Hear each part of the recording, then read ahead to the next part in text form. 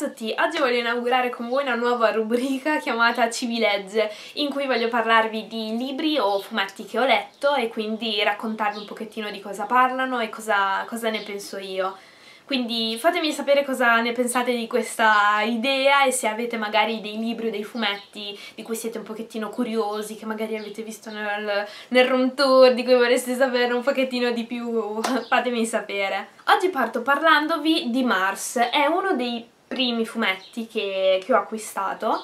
ed è ehm, degli ultimi anni 90, c'è il prezzo ancora in lire, quindi sì, è un, pochettino, è un pochettino vecchio, però secondo me tratta dei temi ancora attuali. Mars racconta le vicende di due ragazzi di 16 anni, Kira Aso e Rei Cascino.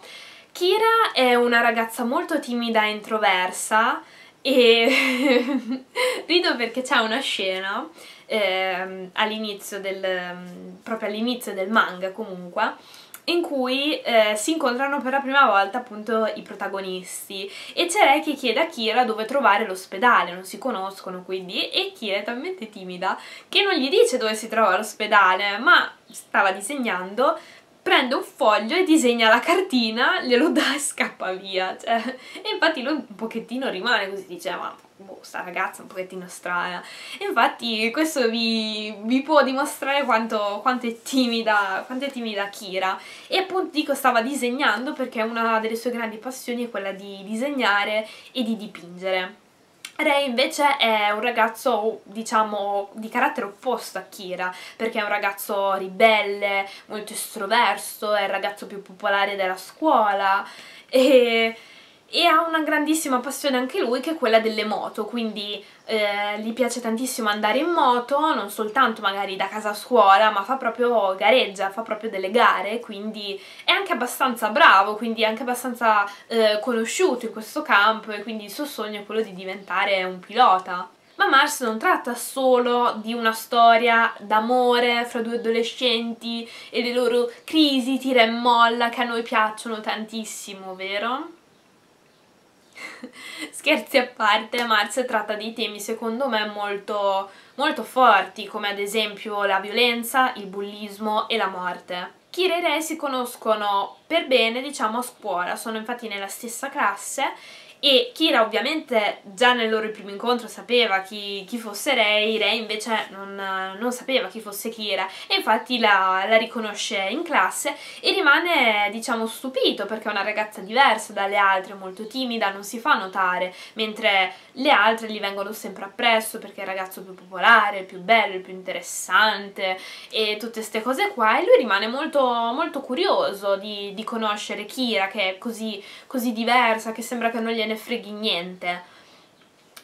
non gliene freghi niente di lui per intenderci insomma questo non fa altro che scatenare le, le, altre compagne di classe di Kira, che se prima la isolavano perché era diversa da loro, adesso ancora peggio, incominciano a minacciarla e quindi le fanno, le fanno diverse pressioni perché gelose appunto del, rapporto che si inizia a creare fra Rei, fra Rei e Kira. Mars però non tratta soltanto delle vicende scolastiche, parla infatti anche delle, delle loro vite all'infuori della scuola e quindi man mano si verrà a conoscere la situazione familiare di Kira, di Rei, che sono comunque situazioni molto difficili e che ci faranno conoscere sempre di più questi protagonisti ed è una cosa che ho molto apprezzato perché con con l'andare diciamo dei volumi, del, dei volumi, cioè dei, dei fumetti comunque, si ha proprio l'impressione di conoscere sempre di più i, i, protagonisti in particolare o comunque i personaggi perché si aggiungono diciamo dei, dei particolari, delle storie, delle, delle vicende che eh, ci fanno capire sempre di più su questi due protagonisti. Un'altra cosa che ho apprezzato molto, oltre appunto a questa caratterizzazione molto dettagliata dei, dei protagonisti, è come vengono trattati i vari temi, quindi ho parlato del, ad esempio del bullismo di, delle ragazze a scuola, bene, non solo, viene trattato anche... Mh, viene spesso trattato il tema della violenza, soprattutto anche all'infuori eh, della scuola, perché Ray è un, tipo, è un tipo molto violento e poi succedono cose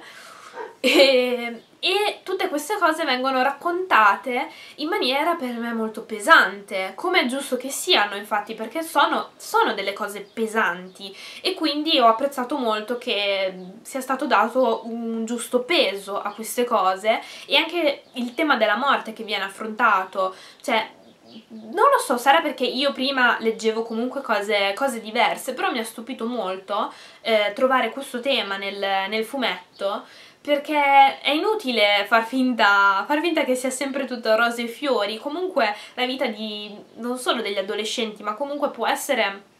può essere anche questo, può essere anche difficile, par si parla anche comunque di, di suicidio e, e, secondo me è giusto che, ne, che, se ne parli, che venga trattato, perché comunque non parla soltanto dei lati diciamo felici dello stare assieme ad una persona, di provare sentimenti nuovi, ma parla soprattutto della vita, secondo me, quindi ci sono questi due, due protagonisti che oltre a stare assieme devono far fronte a una serie di difficoltà che aumentano secondo me e alla fine proprio del, del, fumetto noti come i protagonisti sono, sono cresciuti, sono cambiati perché hanno affrontato diverse sfide. Pur essendo così diversi i protagonisti riescono comunque a trovare un punto di incontro fra di loro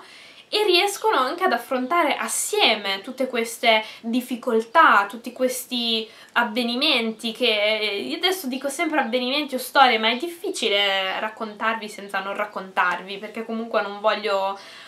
se vi sto a raccontare tutta la storia, che, che gusto c'è poi nel leggerlo? Non c'è nessun gusto, quindi cerco di rimanere un pochettino vaga, ma secondo me è un ritratto molto veritiero della vita reale quindi da quando sei al liceo a quando tra virgolette sei grande perché il fumetto appunto cioè, c'è proprio questa crescita dei, dei, personaggi. Quindi ho trovato questo fumetto non solo per non solo adatto diciamo ad adolescenti ma è comunque secondo me un fumetto abbastanza adulto proprio perché tratta diversi temi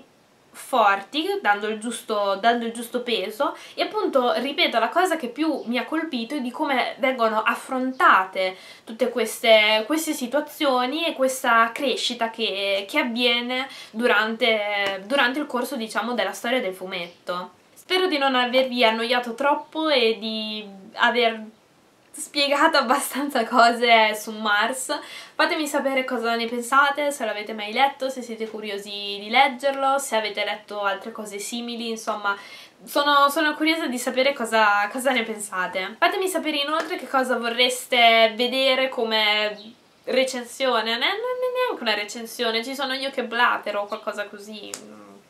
Scherzi a parte, fatemi sapere se c'è davvero un libro o un fumetto che vorreste di cui vorreste saperne di più. Io vi saluto e ci vediamo al prossimo video. Ciao!